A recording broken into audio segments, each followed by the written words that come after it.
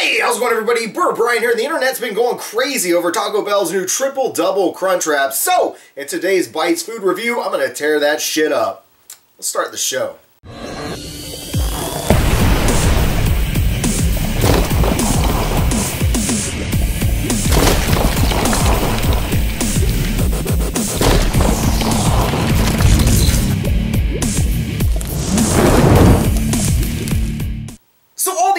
Advertisements I've seen for the triple double crunch wrap make it out to be like it's enormous. I think I even read somewhere that it's supposed to be the size of a small toddler. Well, I just got off work and I'm really hungry, so we're gonna see about that. I think these average about $3.69 a piece, but I went with the $5 big box so that I could get a couple tacos on the side with it. But inside the box, we do have a pretty massive piece of food right here. I gotta tell you, I am impressed just picking it up. Weight alone, I'm looking at a good half pound at least. It's got to be a good eight ounces.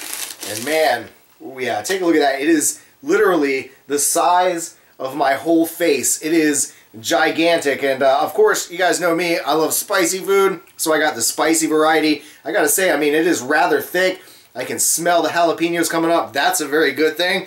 But let's go ahead and cut this thing open and see what it looks like in the middle.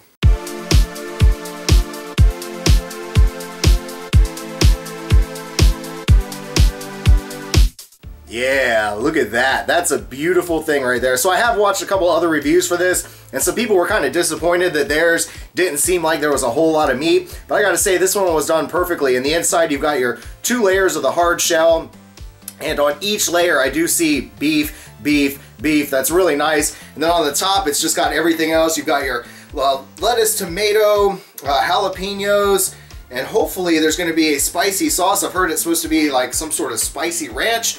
But let's go ahead and take a bite. Definitely really tasty. Um, I don't really get a whole lot of spice, so maybe I missed the uh, sauce. Let me take a bite out of the center here where there's all the goodies. Definitely really, really tasty. Um, the jalapenos really don't have any spice to it. They're not fresh cut. They look like they're jarred jalapenos, so to me they taste more like a candy sweet jalapeno.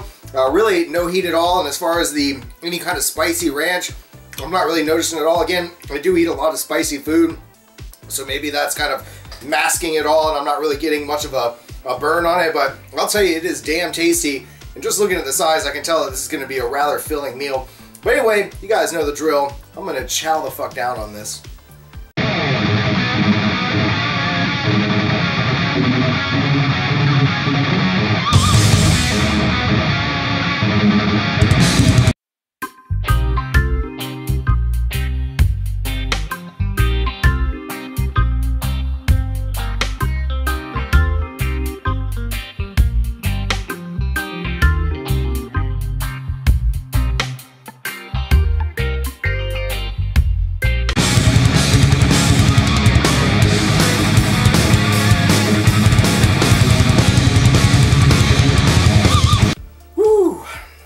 Definitely really, really tasty. I chowed that thing down in probably two minutes. Really, really good. I gotta say, it's definitely filling. That's one thing that I love about how big this thing is. Like, I could easily eat this. You know, honestly, when I'm working, I'm working in a hard job. It's hot. I'm having to run around a lot. So I don't want to eat a whole lot of food, like tons and tons of stuff. The great thing about this is it's plenty. It's enough to really fill you up. And, excuse me, and it's less than $5, so you really can't go wrong there. And uh, the only complaints that I have is, of course, the jalapenos. They really should use fresh jalapenos so you get much more of a spicy bite out of it. That uh, the, the canned or, or jarred stuff just really doesn't have any heat to it at all. I did get a little bit more of that spicy sauce towards the end. It didn't have a whole lot on there. And honestly, it really wasn't all that hot. So my suggestion, Taco Bell, if you really want to make a spicy version of something like this, if you're going to advertise it spicy, you should maybe use some of the sauce that you had in the Daredevil grillers, like the, the habanero or uh, even the ghost pepper sauce, something to really give it a good punch because I have absolutely no heat at all in my mouth. So I am going to start rating food from now on since I haven't been doing it in the past. As far as uh, heat goes, this one gets a, uh, a big whopping one. That's it, one on heat. Nothing at all spicy. I mean, I'm feeling my head sweat a little bit, but it's because it's fucking Florida and it's burning hot in my house. It's 80 something degrees. I don't like to run the AC when I do these videos. It makes too much background noise.